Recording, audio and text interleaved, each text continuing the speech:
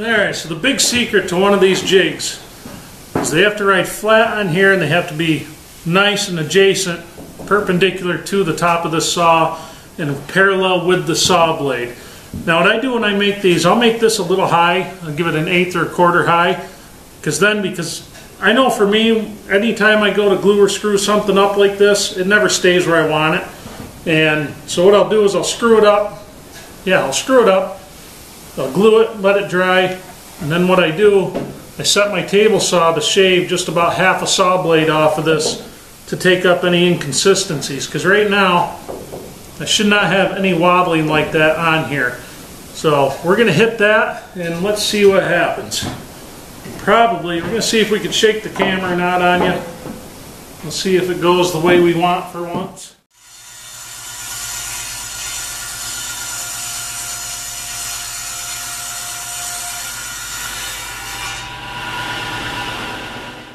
We pretty well took the wobble right out of her.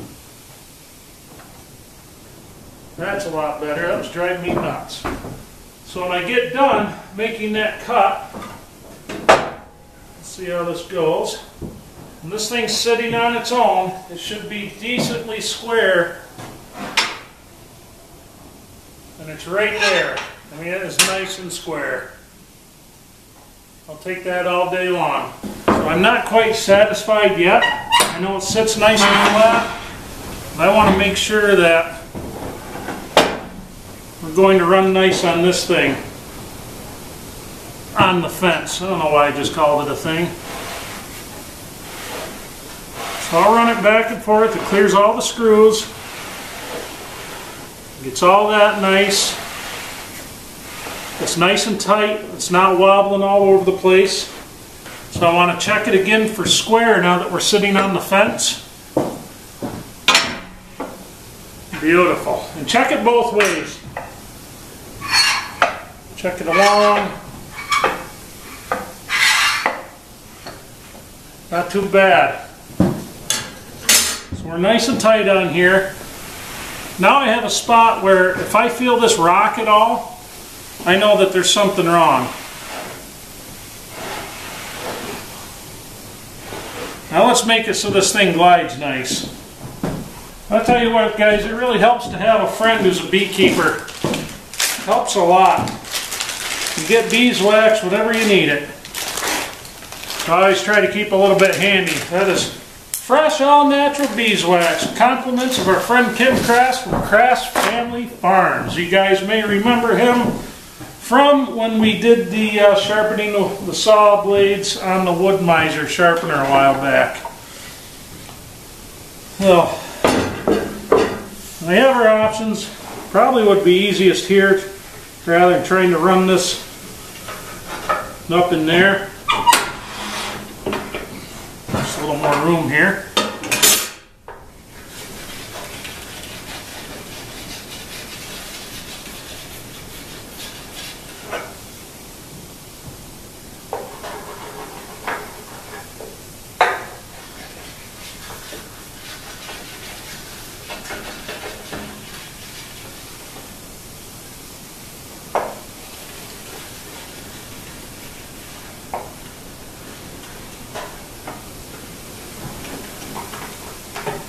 See if that helps.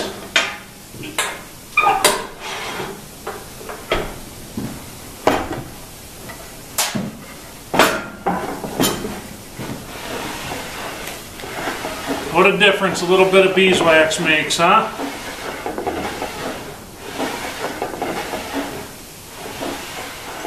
That rides nice on there. We clear all the heads on it.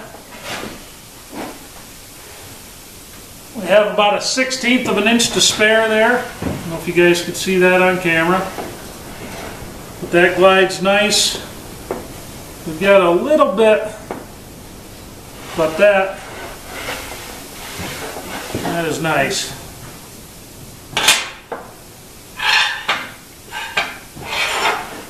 Nice and square.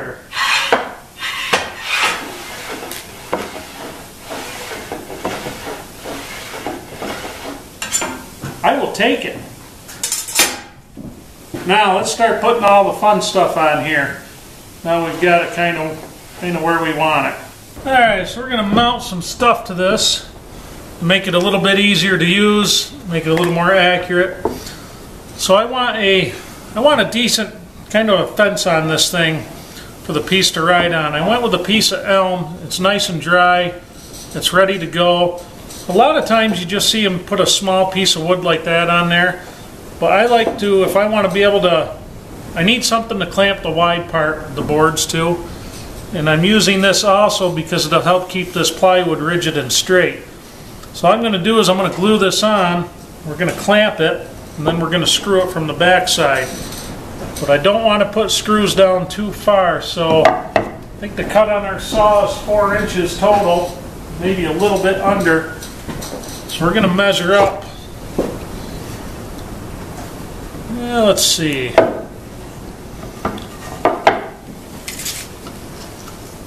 just going to do a half-ass measurement here.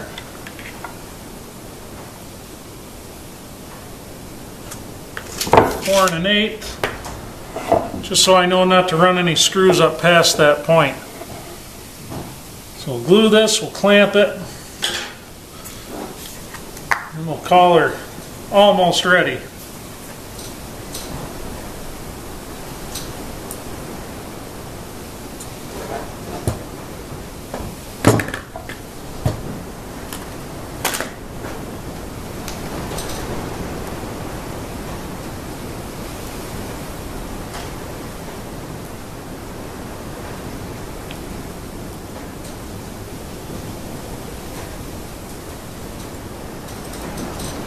Now we did run this piece through the joiner to make sure that everything's nice and square on it. Because that would certainly not be any fun. I'm also leaving it a little shy of the bottom here.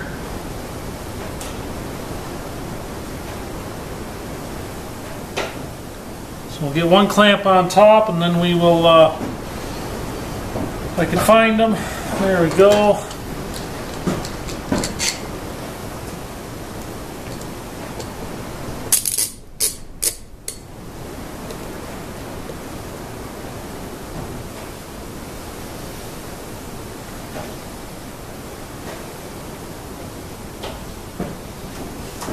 We want to double check that before we put the bottom clamp in.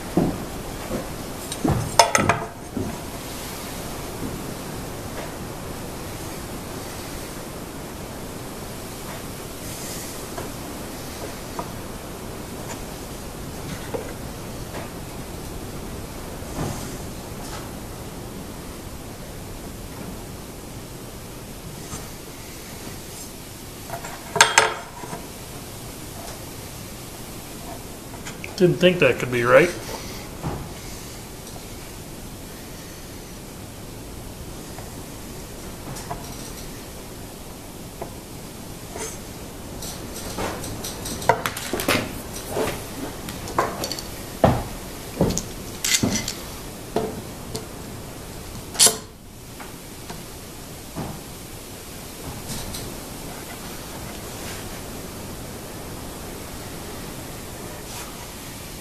Check it one more time. Beautiful. Little by-eye construction.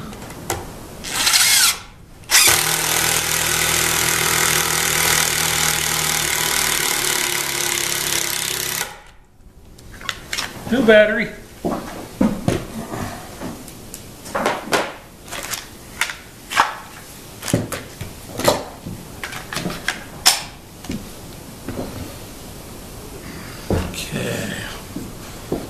Now I do like to double check a million times on this because this is this is really important.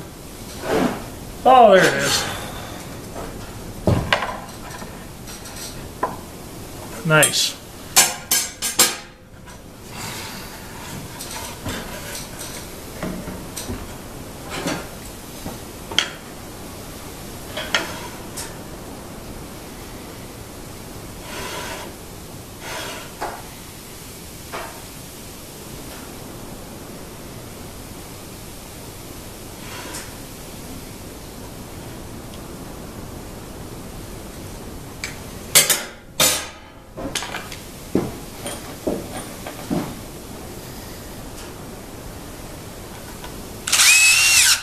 Now for the fun part.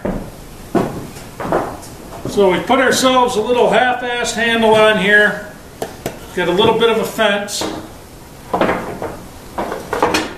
And set her down. I have this marked where I want it. So what I want to do is I'm going to clamp this guy in.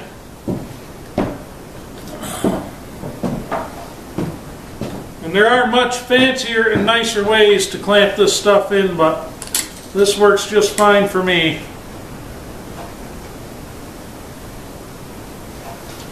Now, a big thing we want to make sure, we want to make sure that this is tight in here, and we want to make sure it's tight to there. So it's nice about having this up here, it gives you another spot to push against. And then if you're running it like that, it makes it nice and easy. Now I've already had the depth of the blade set. Now we're just going to dial this in a little bit. Should probably make that a little easier to see. Actually, you know what? We know we need a quarter inch.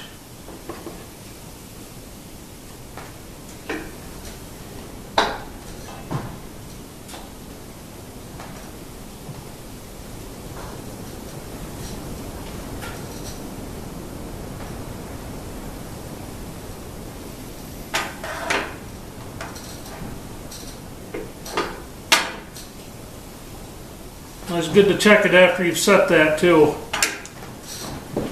Alright, let's see what happens.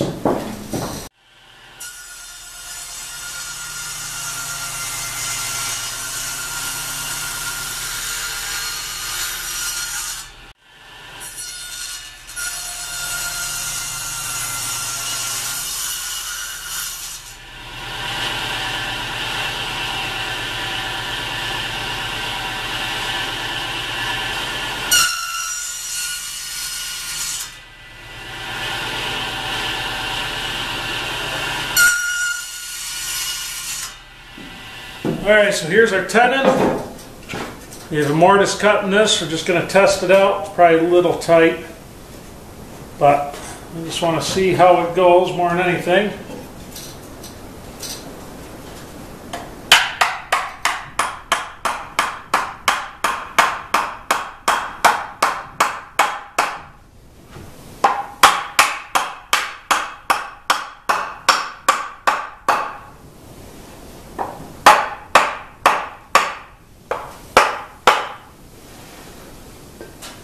It's not too bad.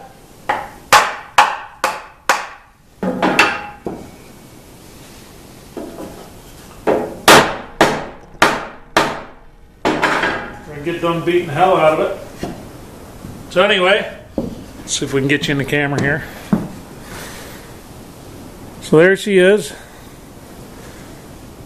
Of course, it needs a little more fitting. I mean, it's not you're not going to get your final final on that when you do that, so you're obviously going to have to do some cleanup, things like that. But it actually works quite well, and it's much faster. Of course, I nicked the wood there doing the mortise on accident, but that's her. That is our tenoning jig for the table saw.